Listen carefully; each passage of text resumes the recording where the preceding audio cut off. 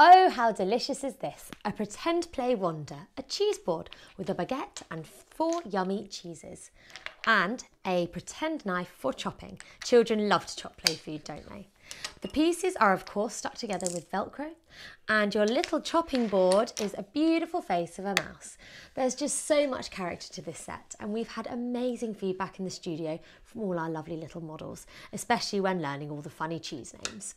This is the perfect accessory if you've already got one of our toy kitchens and it comes in this handy little net bag for packing away all the pieces after play.